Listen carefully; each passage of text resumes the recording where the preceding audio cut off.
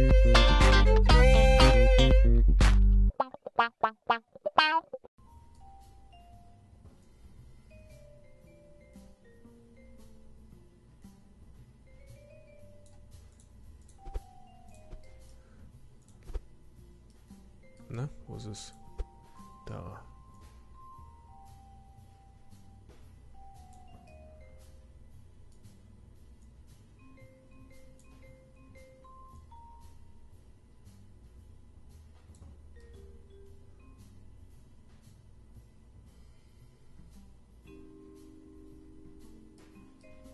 Hm, bisschen hoch muss es noch. So. Ich äh, hoffe mal, dass das so passt. Wir machen mal einen kleinen Probeflug damit. Mm, und wir äh, halten es äh, hier so fest. In der Hoffnung, dass das alles so passt. So. Also, jetzt müssen wir noch ein paar Sachen machen. Äh, wir müssen strutten, bis der Arzt kommt. Sonst wird das im Leben nicht halten. Das hier strutten wir am besten auch mal direkt nach vorne durch. Das strutten wir von mir aus noch da. So, die Dinger Autostrutten wir auch mal. Autostrutten, alles Autostrutten. So.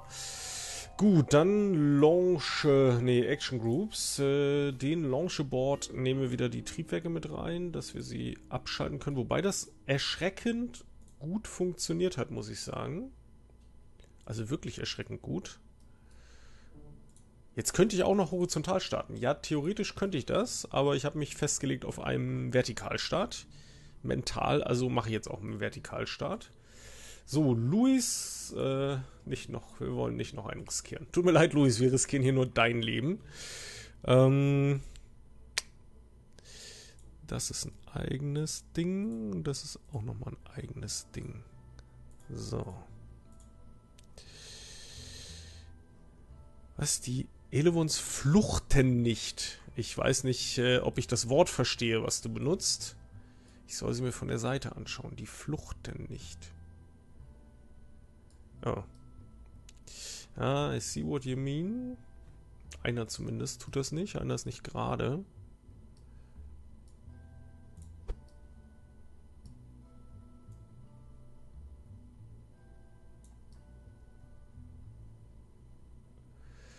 Jetzt ist er gerade. So. Willst du nicht noch hinten Fallschirme ranbauen, damit du auf den Rädern landest? Nee, ich will einfach nur Fallschirme für einen Abbruch haben. Erstmal gucken, ob das hier überhaupt fliegt. So, nächster Anlauf für den SSTO-Prototypen. Ähm, mal gucken, was diesmal alles schief geht. Aber Luis hat ja mittlerweile Erfahrung darin, das nochmal zu retten. Und so schlecht läuft es doch gar nicht. So schlecht läuft es doch gar nicht. Also es ist noch keiner gestorben, meine ich damit. Äh, mit so schlecht läuft es doch gar nicht.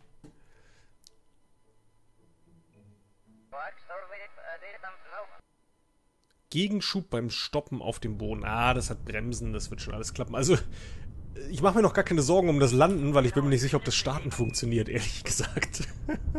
Sieht auf jeden Fall schön aus. Ob es jetzt noch fliegt, ist nochmal eine andere Frage. Äh, ich mache mal die Triebwerke an.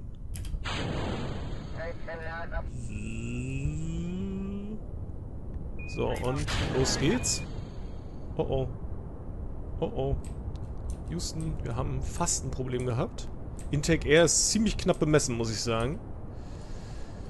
So, aber er fliegt als Senkrechtstarter, das ist schon mal eine schöne Geschichte.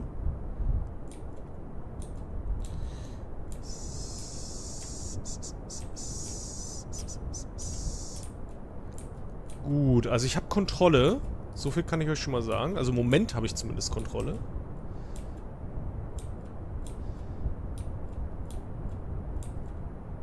Und ich habe keinen Schimmer, wie stark wir den Anstellwinkel machen sollen. Ich gehe jetzt mal auf 30 Grad versuchshalber. Ich muss unbedingt noch die Pitch Groups einstellen, wo welches, welche Steuereinheit mitarbeitet. Ich habe ein bisschen zu viel Kontrolle, habe ich so das Gefühl. So. 30 Grad und wir gucken mal, was passiert.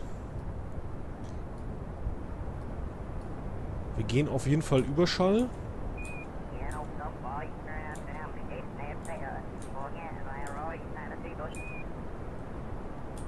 Und wir steigen auf jeden Fall auf. So, Apoapsis bei 8000 Metern. Wie gesagt, ab 20 Kilometern Höhe können wir die nächsten Triebwerke dazu schalten, damit die dann übernehmen. Ich möchte jetzt aber erstmal vor allen Dingen Geschwindigkeit aufbauen, um zu gucken, was ich aus der Kiste rausquetschen kann. Ähm, mit den Main-Triebwerken noch. Das wäre nämlich relativ wichtig. Ja, die Triebwerke können auch pitchen. Ja, die haben einen Gimbal von 5, glaube ich, wenn mich nicht alles täuscht. Okay, 20 Kilometer sind erreicht. Also, wir kommen jetzt theoretisch auf 20 Kilometer. Wir haben Surface Speed von knapp 1000 Metern, Orbit Speed auch von knapp 1000 Metern drauf. Okay, Intake Air ist noch in Ordnung. Aber wir verlieren massiv an Leistung. Ich werde langsamer. Ich zünd jetzt die Triebwerke dazu. In der Hoffnung, dass wir genug Speed bekommen. Ich glaube zu flach raus. Ich glaube, wir sind zu flach raus. Schauen wir mal.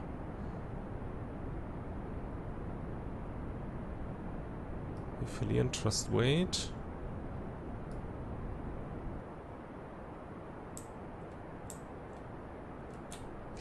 Oh, das hätte ich nicht tun sollen. Okay. Das war nicht so gut. Probieren wir ihn einzufangen. Wir haben ja einen Gimbal der Triebwerke, das sollte uns ein bisschen helfen. Jawohl, okay. Aber äh, ich glaube, ich habe ein Schubproblem, also ein Leistungsproblem. Wir, na gut, wir nehmen zumindest Geschwindigkeit auf, aber ich weiß nicht, ob es reicht. Nee, 051er Trust Weight wird nicht reichen. Komm runter mit der Nase. Das wird nicht reichen. Äh, die Triebwerke scheinen nicht leistungsfähig genug zu sein, um uns so weit rauszutragen. Wir könnten natürlich nochmal einen aggressiveren Steigwinkel probieren. Um mehr Höhe zu kriegen. Das ist noch eine Möglichkeit. Jetzt kommen wir auf jeden Fall wieder runter. Gut, dann probieren wir doch mal eine Landung, oder? Wir kommen da drüben auf dem anderen. Also bis dahin müssten wir es auf jeden Fall schaffen. Setzen wir doch mal zur Landung an. Mit unserem lustigen kleinen Flugding. Achso, das ist noch das Meer da hinten, ne? Nein. So, ich würde gern... Ah, schlecht.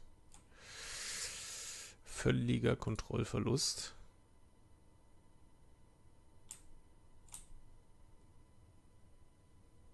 Okay, alles gut. Auf den ProRate können wir uns einigen. Das klappt.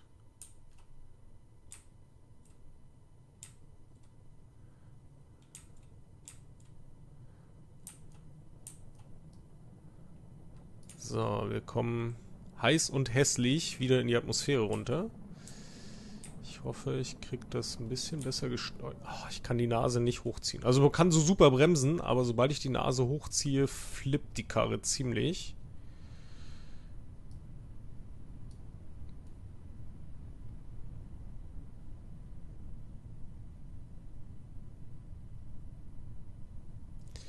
Das sieht nicht so gut für eine Landung aus.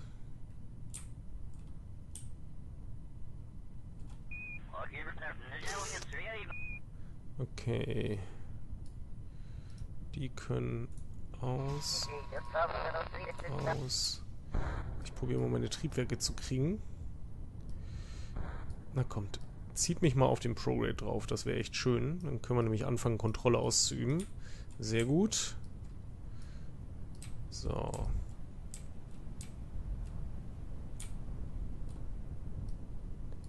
Okay, abgefangen. Das sieht doch nicht schlecht aus.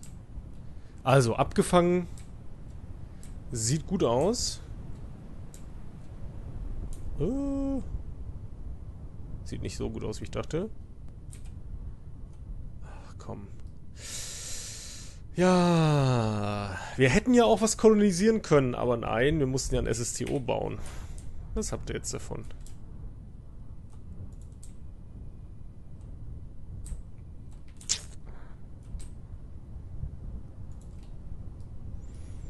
Ah, schwere Geburt. Also das liegt so gar nicht im Wiedereintritt. Das liegt so gar nicht. Also ich krieg's abgefangen auf jeden Fall. Oh, guck mal, da hinten ist eine Insel, das ist nicht schlecht. Dann können wir da hinfliegen. Ich krieg's, glaube ich, abgefangen, ohne abzustürzen. Hoffe ich zumindest. Sonst wird's gleich richtig hässlich für Luis. Ja, alles gut. So. Also Fliegen klappt. Aber Orbit und Wiedereintritt sieht nicht gut aus. Also ich habe massive Probleme mit äh, Hochgeschwindigkeitsflug. Da zieht es mir die Nase raus, sobald ich auch nur ansatzweise... Jetzt bin ich, jetzt bin ich glaube ich in so einem richtig schönen Turn drin. Das kriege ich nicht mehr gezogen. Das ist jetzt endgültig Kontrollverlust. Weil der wird jetzt als Diskus runtergehen.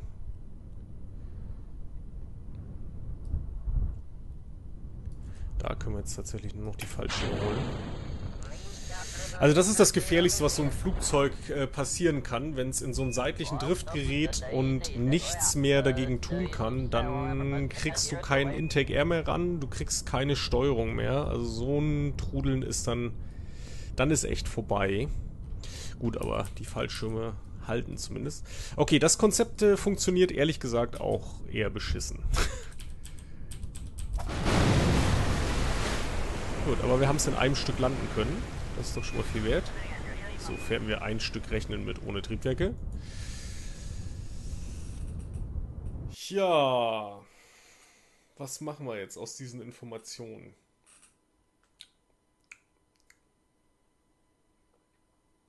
Also ich glaube, um wirklich mit den Jet-Triebwerken diese Höhen erreichen zu können, fehlt uns noch das wirklich leistungsfähige Triebwerk. Das macht wahrscheinlich keinen Sinn. Und KSP stürzt ab. Hervorragend.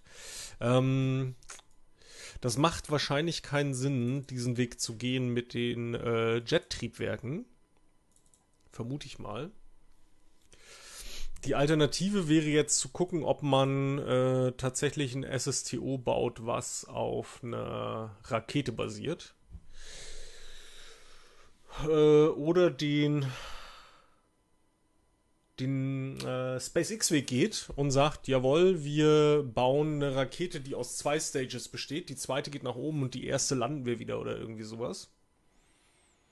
Mm, um es möglich wieder, möglichst wiederverwertbar zu halten. Die Einrastfunktion deaktivieren. Meint ihr? Wollt ihr live dabei sein, wie ich meine Einrastfunktion Einrast Einrastfunktion deaktivieren? So.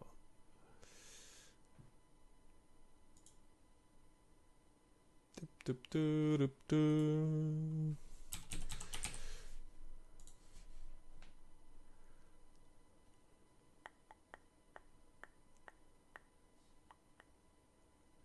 Wo ist es denn? Eintrag erleichterte Bedienung. Habe ich nicht.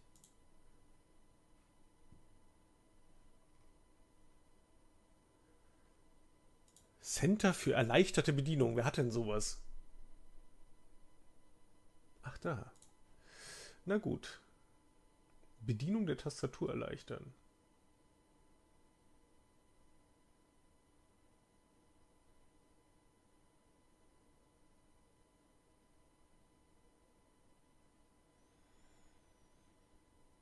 Na? Diesen Abschnitt immer erfassen. What? Bedienung der Tastatur erleichtern. Dankeschön. Einrastfunktion einrichten.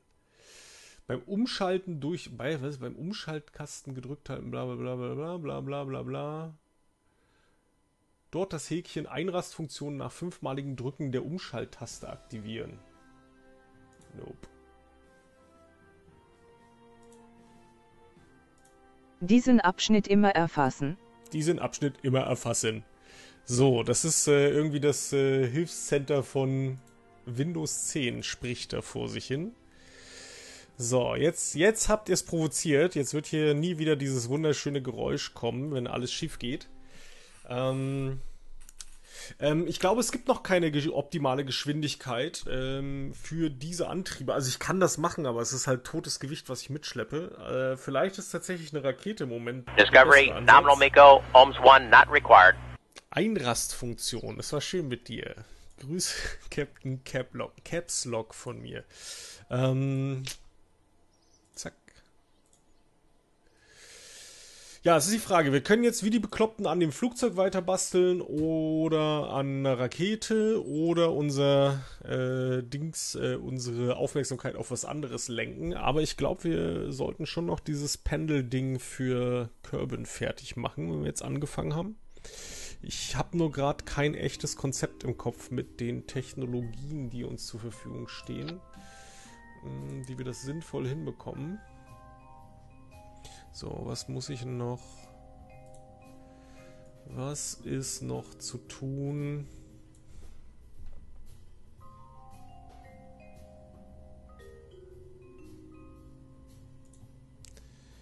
So, äh,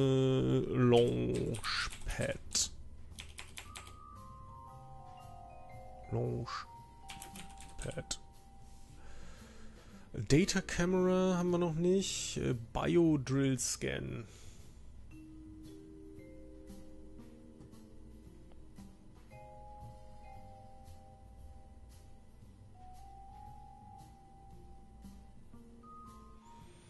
Den Biodrill Scan, wobei der auch nicht besonders viel bringt, ne?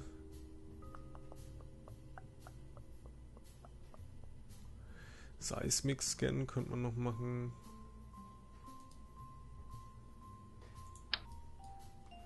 Seismic Scan. Bio Drill.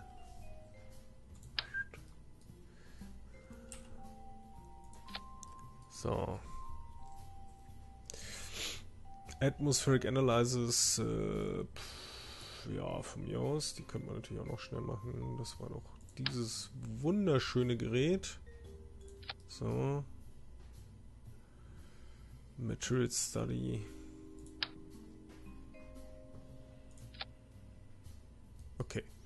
Nehmen wir das mal schnell und gucken, ob wir die... Was sind jetzt kaputt? Ja, ja. Nehmen wir das mal und gucken, ob wir die Science-Punkte damit voll bekommen. Denn äh, Airbrakes würden echt helfen bei viel von dem, was wir gerade vorhaben. Genau, wir könnten natürlich die Falcon 9 Richtung anpeilen. Ist wahrscheinlich auch nicht ganz einfach. Äh, Wäre aber sicherlich auch spannend.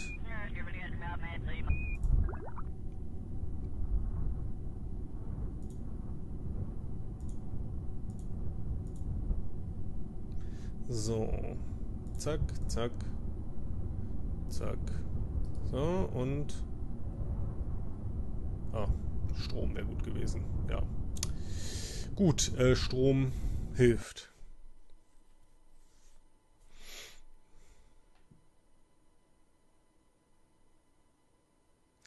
Genau, das meine ich aber, the one and only Opa-Terror. Ähm, ich glaube nicht, dass mit diesen Triebwerken so hohe Geschwindigkeiten auf einer sinnvollen Höhe im Moment möglich sind. Deshalb äh, würde ich mir den Part auch sparen. Äh, shit, was fehlt jetzt noch? Weil es einfach Unsinn ist, an was rumzutüfteln, was im Moment technologisch nicht so richtig gut umzusetzen ist. Gut, ist wahrscheinlich auch mit der Falcon 9 nicht so besonders gut, aber was fehlt uns jetzt noch?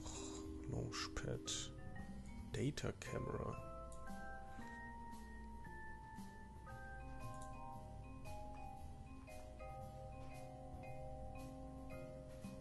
Ist von diesem Rover, oder?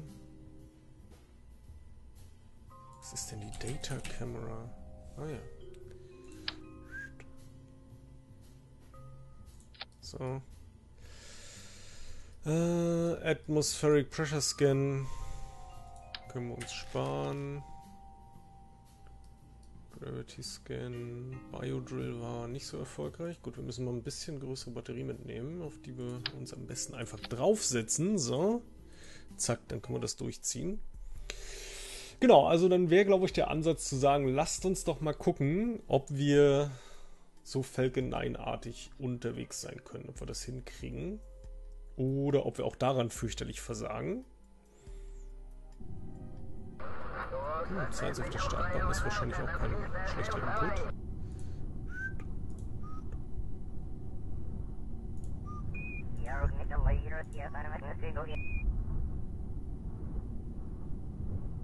Aber ich habe doch drauf gedrückt. Zack. Hm.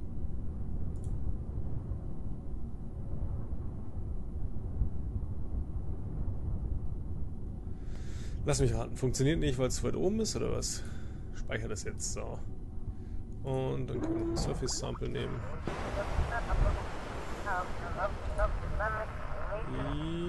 Yep. Und Nefa Report. Yep. Und Board. So. Mal gucken, ob es reicht. Sonst können wir das nochmal auf die Science, äh, auf die Startbahn tatsächlich rausstellen. Das wäre auch noch eine Möglichkeit.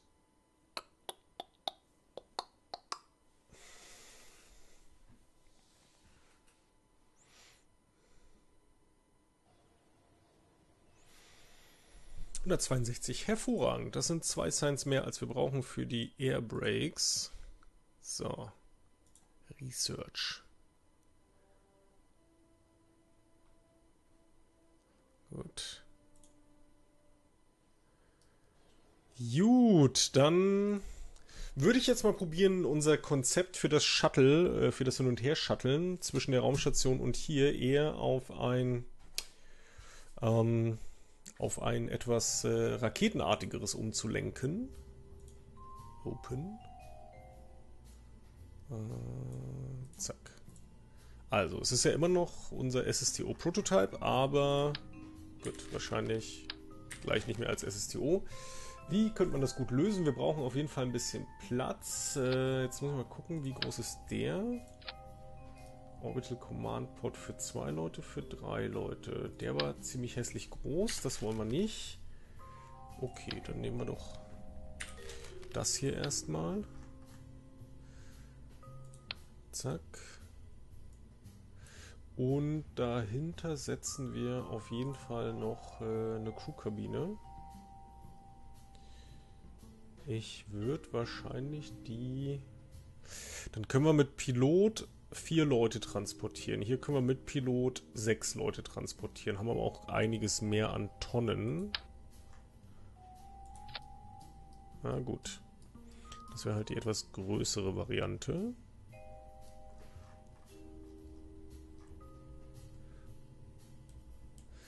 So. Das wird dann quasi unser, unsere, unsere Interpretation von Dragon. Die armen Schweine.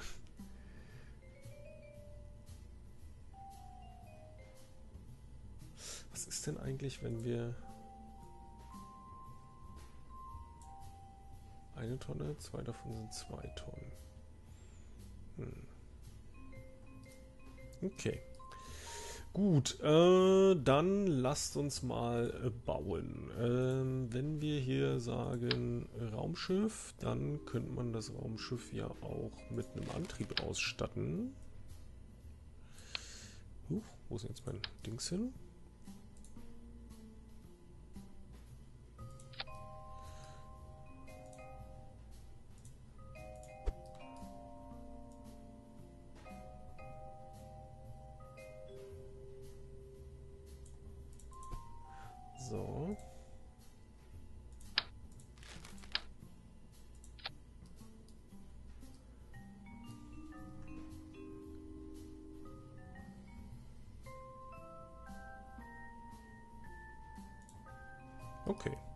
Ich wollte aber eigentlich sogar nur eins haben. Cool. Ein Raumschiff. So. Jetzt äh, können wir mal noch überlegen, ob man das nicht ein bisschen eleganter gelöst bekommt. Tanks versenken ist irgendwie beschissen? Nee. Findet ihr das beschiss? Ich finde nicht, dass es beschiss ist, weil normalerweise hier drinnen halt auch nicht nur vier Leute rumschweben, sondern weil da äh, als ein Service-Module auch tatsächlich Tanks und sowas drin sind. Weil sonst wird es halt wieder ein Riesenteil. Also ich finde das nicht so beschissig. Oh, jetzt sind die wieder rausgeplöppt. Ey. Upp, upp, upp, Alles Klippen ist Beschiss. Na, wenn ihr meint, dass es Beschiss ist, dann bauen wir halt ein Riesenraumschiff. Wenn euch das glücklich macht, dann halt so. So, riesiges Raumschiff.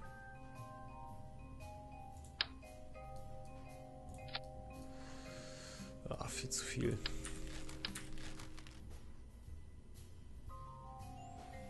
Aber ich habe keinen flacheren Tang, ne?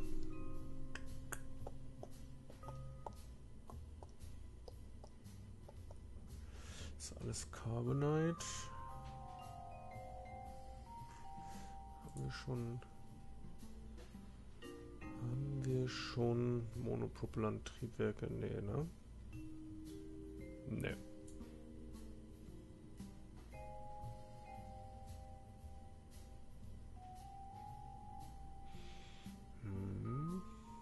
Kilonewton.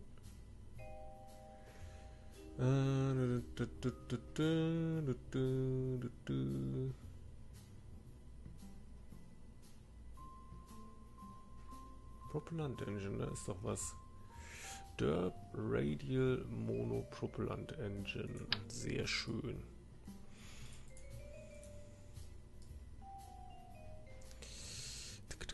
Keine Sorge, ich krieg meine Dragon-Kapsel trotzdem, auch ohne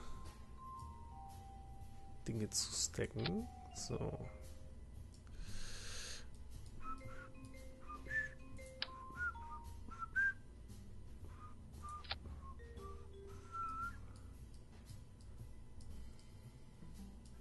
So. Haben wir das schon mal? Da ist die Tür. Tür. Okay. Dann...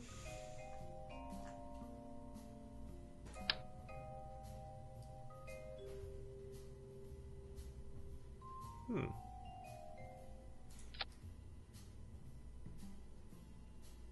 Wie viel Monopropellant ist da drin? Hölle. 750? Kommt mir wenig vor für die Größe. Na gut, aber das kriegen wir eleganter gelöst.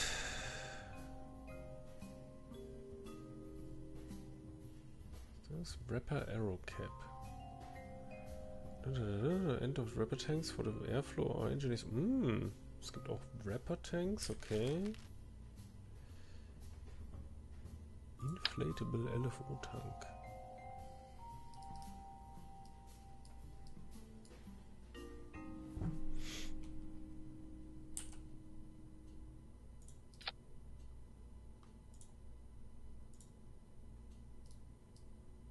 Äh, das ist auch nicht die Antwort.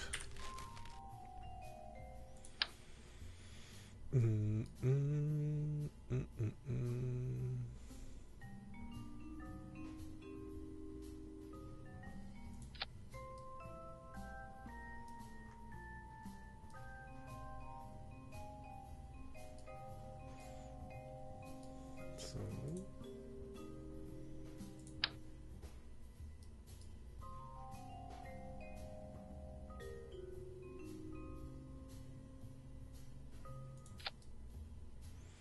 Keine Fenster. Niemand braucht Fenster im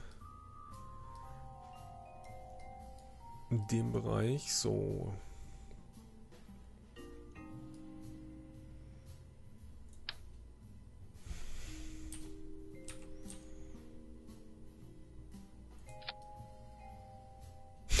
Guck mal, wie das Fenster da wieder rausguckt. Voll witzig. Ah, ein Fenster sucht sich immer einen Weg. So, ähm Coupling. Ein normaler Dockingport. Vorne ran. Und ein Heat Shield unten drunter. So.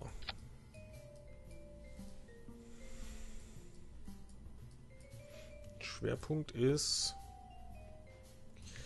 erschreckend weit oben, das müsste man sich angucken, aber wir können ja dank unseres technologisch massiven Fortschritts können wir ein paar Sachen klären für uns.